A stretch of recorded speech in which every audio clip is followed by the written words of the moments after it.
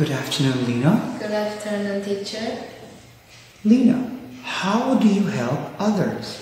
There are many ways we can help people, and I think we should help others more often. And I think here are a few ways I like to help people. First is to teach my friend to how to study.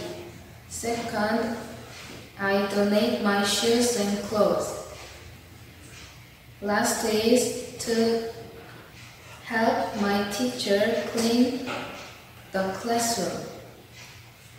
What is one thing you can do to help someone? Thank you. Thank you,